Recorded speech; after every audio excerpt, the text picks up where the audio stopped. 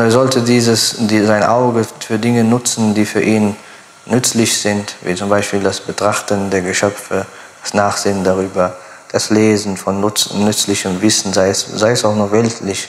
Auch weltliches Wissen ist, äh, gehört zu den individuellen Pflichten, die, die äh, kon, äh, kollektiven Pflichten, die die Muslime erfüllen müssen.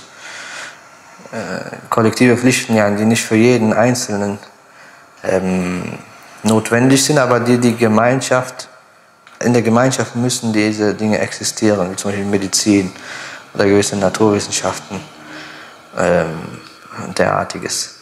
Manche der Osolion erwähnen sogar, dass die kollektiven Pflichten, das ist nämlich eine Frage, ist, es, ist jemand, der eine individuelle Pflicht erfüllt, hervorragender oder jemand, der eine kollektive Pflicht erfüllt?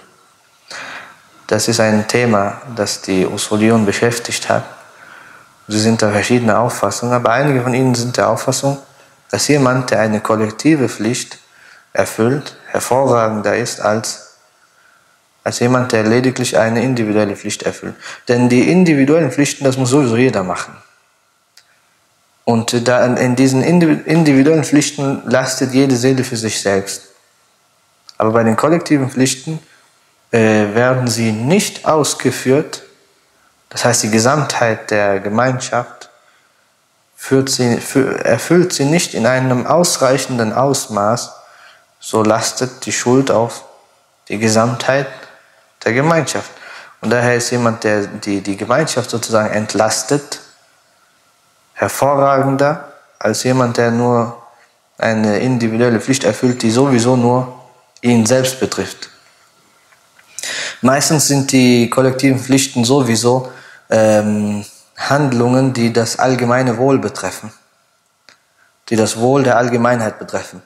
Während individuelle Pflichten meistens nur das Wohl einer Person selbst betrifft und auch meistens nur das jenseitige Wohl. Ja, wie, das, wie die Pflichtgebete.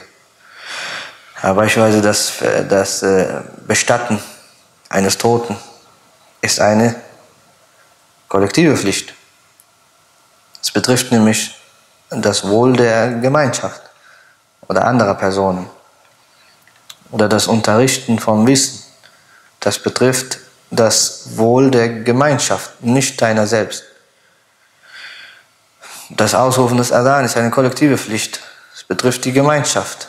Also wir sehen, die meisten kollektiven Pflichten sind gemeinschaftlicher Natur während individuelle Pflichten äh, individuelle Personen betreffen, wie das Hajj zum Beispiel. Das Hajj ist nur eine Sache für dich.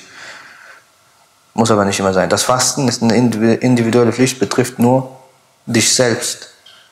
Die Zakah ist auch eine individuelle Pflicht, aber sie betrifft auch betrifft die Gemeinschaft. Also es ist nicht immer so, aber meistens.